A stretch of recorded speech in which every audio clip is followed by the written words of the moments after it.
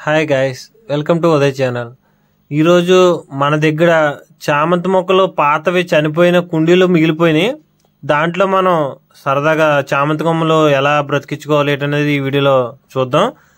Routing hormone powder ఎలా పనిచేస్తుంది దాన్ని మనం ఎలా వాడుకోవచ్చు అనేది మీకు ఈ వీడియోలో క్లారిటీగా చూపిస్తాను. చూస్తూ ఉండండి మీకు ఏదైనా డౌట్ వస్తే నాకు కామెంట్ చేయండి. వీడియో నచ్చినట్టయితే సబ్స్క్రైబ్ చేయండి. ప్లీజ్ ఒక లైక్ కొడితే మన వీడియో చాలా మందికి షేర్ అవుతుంటుంది. చూడండి మన దగ్గర మిగిలిపోయిన పాత చామంతి మొక్కలు కూడా ఇవన్నీ ఉన్నాయి ప్యాకెట్లని.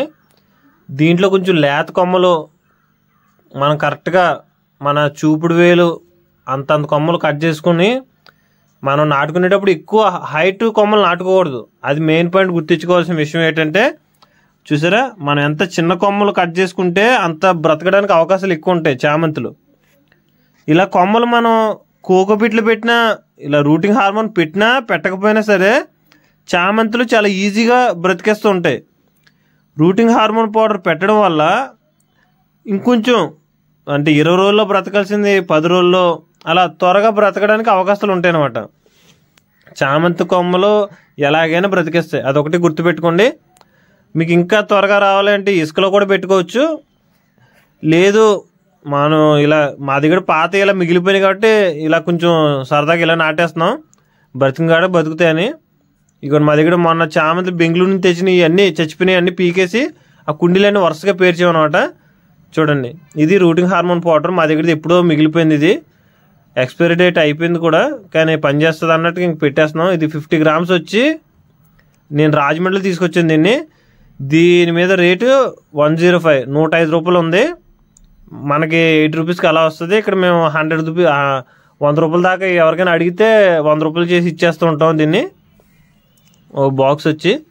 చూసారు కదా? ఎవరైనా ఇంటికాడ సరదాగా ట్రై చేయాలి అనుకున్న వాళ్ళు దీన్ని ట్రై చేస్తూ ఉంటారు అనమాట మా దగ్గరికి వచ్చి అప్పుడప్పుడు అడుగుతుంటారు దీన్ని ఎలా వాడాలి? ఏంటనేది ఇదిగోండి మనం చిన్న కుప్పలోకి లైట్గా వాటర్ తీసుకోవాలి. మనం దీన్ని ఎంత చిక్కగా కలుపుకుంటే మన కొమ్మలకు అంటుకుపోవాలి. అది ఒకటి గుర్తుపెట్టుకోండి. కొమ్మలకి అతుక్కుపోవాలి. అందువల్ల మనం చిక్కగా కలుపుకోవాలి.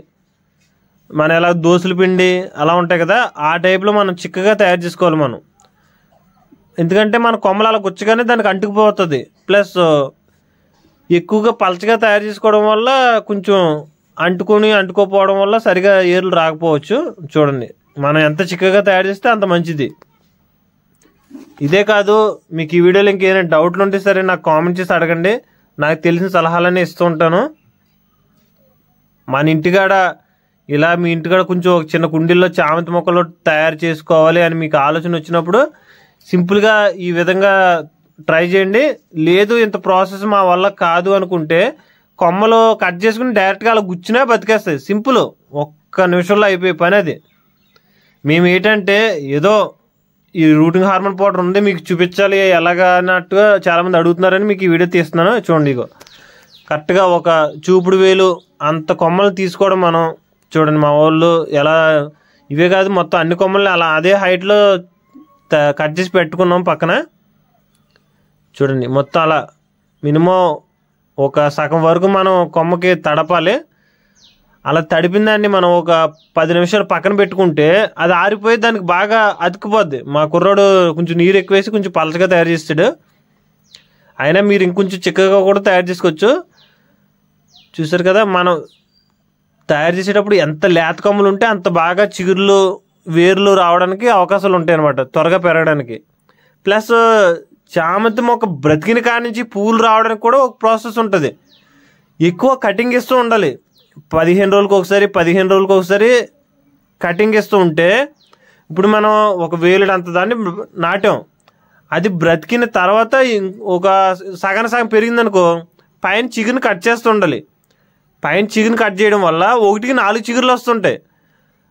ఎప్పుడు ఇది ఎప్పుడైనా సరే మనం వర్షాకాలం చివరిలో ఇలా తయారు చేసుకుంటే మంచిది. ఎండల కాలంలో ఇలా కొమ్మలు ట్రై చేయకండి. ఎండల కాలంలో చామంతులు ఉండవు అన్నమాట. చామంతులు మీకు బాగా పూలు రావాలి అంటే చలికాలం ఒకటే వస్తాయి. అదొకటి గుర్తుపెట్టుకోండి. చెట్టుని మనం ఎప్పుడు బ్రతికించుకున్నది కాదు. పూలు మాకు రావట్లేదండి రావట్లేదండి మన దగ్గరికి వచ్చి కస్టమర్లు అందరూ అడుగుతుంటారు. చామంతి మొక్కలు పూలు చెట్టు బ్రతికిందనుకో పూలు చలికాలంలో వస్తాయి. అదే చెట్టు బ్రతికినప్పుడు మనం ఏం చేస్తాం?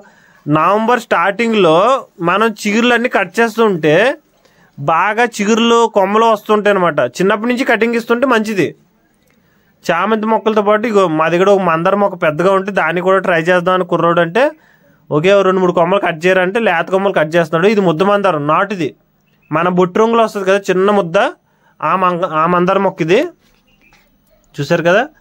ఈ మొక్కను కూడా కొమ్మలతో తయారు చేద్దామని ఒక నాలుగు కొమ్మలతో కట్ చేసాడు మా కుర్రోడు. ఇంకో లేత కొమ్మలు చిన్న చిన్నవి. మనం ఎప్పుడైనా సరే చాలా మంది పెద్ద పెద్ద కొమ్మలు గుచ్చుతూ ఉంటారు. అవి ఎక్కువ బ్రతకపోవడానికి కారణాలు ఏంటంటే వానికి సపోర్ట్ దొ- ఎక్కువ దొరకదు.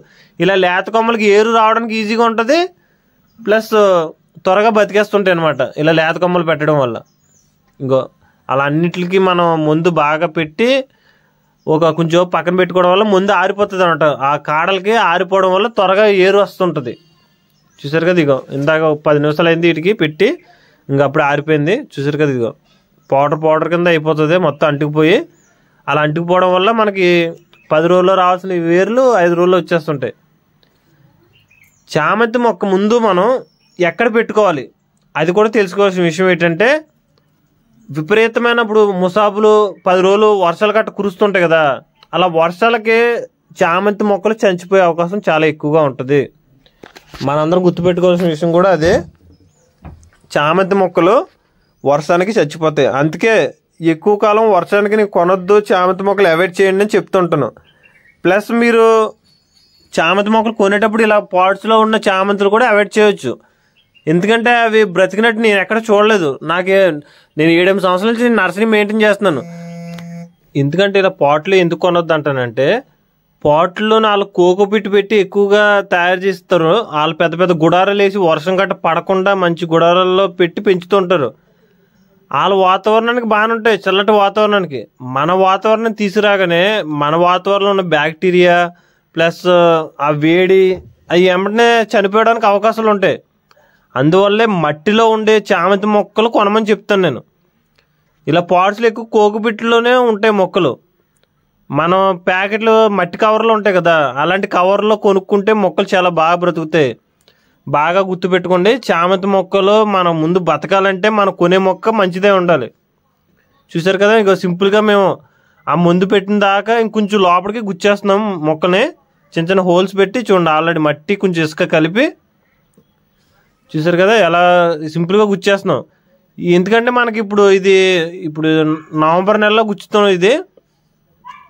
ఎందుకంటే ఇప్పుడు చలి స్టార్ట్ అయింది లైట్ లైట్గా. అందువల్ల ఇప్పుడు గుచ్చుతున్నాం అనమాట ఎక్కువ ఎండాకాలం గుచ్చకపోతే మంచిది. ఏదో మేము మా దగ్గర ఇలాగ ఆల్రెడీ కుండీలు ఉన్నాయి కాబట్టి ఏదో సరదాగా ఇలా గుచ్చుతున్నాం. మందు పెట్టి మీరు మందు పెట్టినా బ్రతుకుతుంది మందు పెట్టకపోయినా చామంతి మొక్కలు బ్రతుకుతాయి. కానీ లేత కొమ్మలు ఎక్కువ హైట్ పెట్టుకోకూడదు. మినిమం చూసారు కదా ఎంత హైట్ పెట్టారో అంత హైట్లో పెట్టుకోండి మీకు బతకడానికి ఎక్కువ అవకాశాలు ఉంటాయి.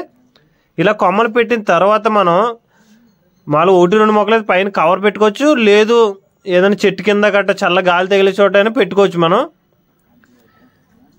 చూసారు కదా ఇలా సింపుల్గా నాటేసుకుని ఒక దాంట్లో రెండేసి మూడేసి పెట్టేసుకోవచ్చు గుచ్చేసుకోవచ్చు అనమాట ఇలా నాటిన తర్వాత మనం దానికి ఎప్పుడు వాటరింగ్ వేయాలి అది కూడా మెయిన్ పాయింట్ అనమాట ఎక్కువ విపరీతంగా వాటరింగ్ కూడా ఉండకూడదు.